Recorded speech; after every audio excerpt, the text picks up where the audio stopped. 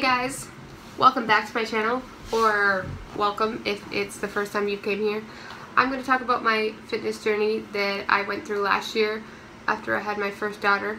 She was about six months old when I decided to start the gym. I started August 11th of 2017, which was last August. Uh, I weighed about 175 and I'm 5 foot like 7-ish. I was feeling sluggish and I was going through some type of like depression thing so I I thought the gym might help me in the long run to you know make me feel better and lose some weight obviously.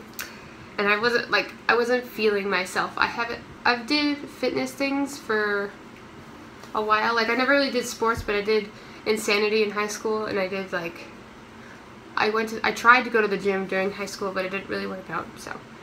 So insanity was the only program that I did and it was with the school.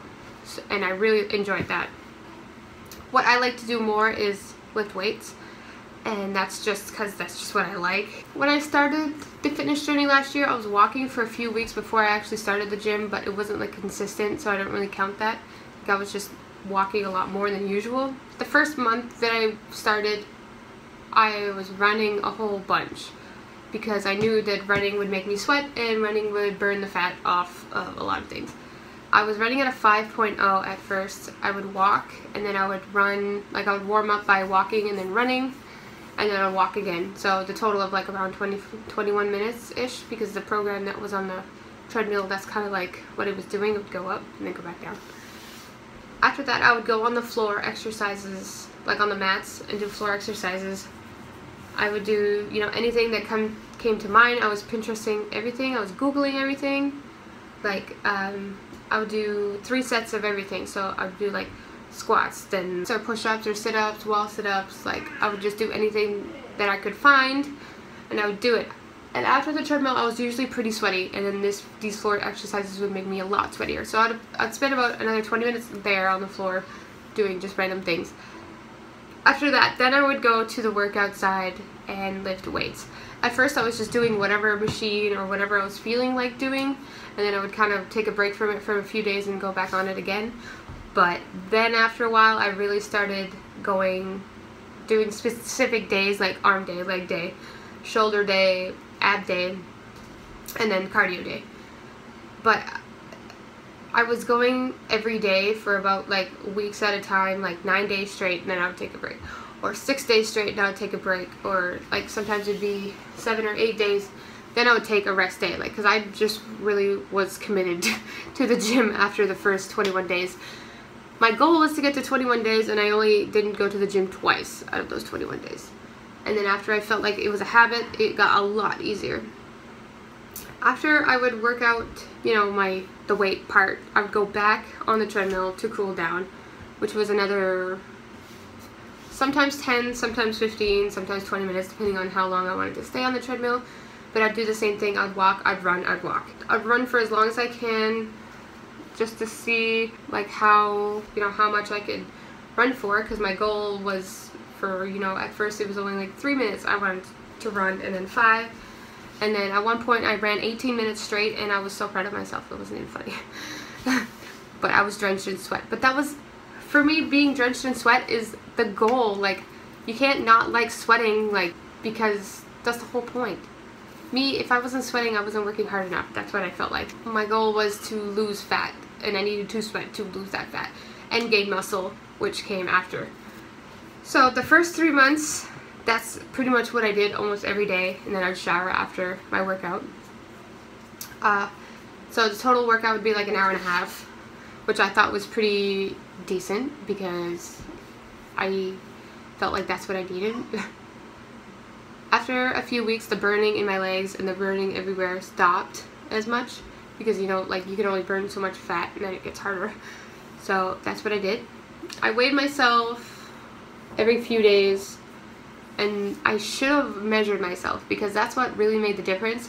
The weight, yeah, I lost a lot of weight in three months, but I also lost a lot of inches that I didn't uh, record, which I did this time. I did all my measurements. I'll put the video in at the end to show you guys what my measurements are and how much how much it is so then I can always look back and I took before pictures which I will insert at the end too. I lost 25 pounds in the first three months. So at the end of November, I was 150. After, at this point, I I got pregnant. I lost a few more pounds, but I I blame that on pregnancy because I had loss of appetite and I I was full so fast and I felt sick so I wasn't eating as much calories as usual and I was drinking a lot more water so I lost a lot. I already drank a lot of water to begin with but then I drank even more. So I went down from 175 to 150 and I felt I was felt in great shape at that point. I felt everything stronger. I felt like everything was like I started running at the end of that at a 7.0 I kept going up. I went from 5 to 5.5 to 6 to 6.5. Then I got to 7 and I was just amazed. And if I were to go back to, like if I would try to go down at that point, it was just too slow. Like I just wanted to run. So that was good. During pregnancy, I stayed up with the routine at first. I didn't run as much because I was starting to get out of breath after a while. So I just did incline instead of how fast I was going. So I was still burning lot of, lots of calories on incline, which I really enjoy incline walking because it's really tough. that is what I did. My pregnancy, I only gained 30 pounds and that was great. Well, during pregnancy, I just kept going lower and lower and lower on the weights and on everything. I stopped going as much to the gym, so, but I still kept in shape. I still tried to go for walks, but it was kind of winter time at this point. I am on my six week wait. I'm six weeks postpartum in two days, but I'm starting the gym today because it's a Monday and I feel like two days isn't going to be a big deal. I get my checkup appointment on Thursday and I mean, I'm, I feel fine. I did a little mini home workout two days ago and I'm a little bit sore from that, but I just did like just floor exercises just to see how much I could do. And I mean, I'm way lower than I what I was like when it comes to you know being out of breath. I'm obviously more out of breath. And this six weeks I've noticed that after like the fourth week of not going to the gym or doing that much exercise I was losing motivation to go. And that just felt horrible. Now that I'm almost there and back at the gym I'm getting so excited to go today later on and you know get all sweaty and do my normal routine I mean not as heavy as weights at first but I mean I'll I'll go back up. So yeah, that's what I did and that's how I lost a lot of weight at first and I'm hoping it'll happen again. After two kids, I just don't want to feel like I can't do anything. For me, it's all in the mind. If I say I'm going to do something, I'm going to do it. I'm also starting my diet today, kind of, or tomorrow, like this week. We're trying to figure out ways to eat healthier for this week. And like for, you know, we want a meal plan, me and my boyfriend, and we want to lose weight from food because that's our biggest struggle is the food part. I mean, I didn't eat that well last time and I still lost a lot of weight, but I still want to, like, you know, feel healthy. That's all I got for this, I guess. That's kind of my story. So, uh, I'll insert the clip for me measuring myself and tell you guys the measurements.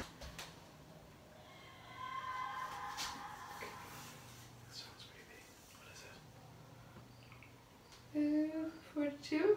Yeah, 42. 42. Yes. Then tell me. 39 and a half. 39? 39 and a half. 39, that's big. Yeah. Pull it tighter than that. 32. 32. That's so sad. It's at 41. Okay, we're doing the butt. Biggest part of my butt. Maybe small your ass. No? Yep. Start. 43. 43. Holy crap, my butt's bigger than my shoulder. 26. 26. We're doing my calf now. The biggest part of my calf. 14 and a half. 14 and a half on my arm. Not flexing is 10. I don't think it's gonna make that much of a difference if I'm flexing. Would it? 11 and a half. 11 and a half. That's so sad. Probably be 10, really. Saying 9. 9. 9. So those are the measurements. And I weighed myself at the gym this morning, and I'm 161. So same weight that I was when I gave birth to my son a week later. So it's not too bad. So in the past five weeks, uh, I lost like two pounds and gained it back. Insert the pictures here of my before pictures.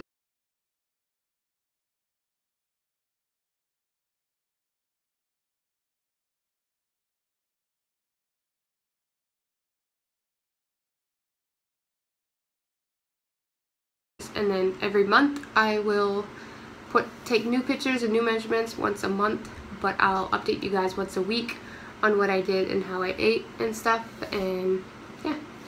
Alright I hope you click that like and subscribe button to follow me on my fitness journey and if you you know if you want to follow my mommy journey well that's my other videos too. Yeah this series is just on fitness but I will still be making vlogs and other videos too so yeah, I hope you guys enjoy and I hope you guys subscribe. Anyways, bye.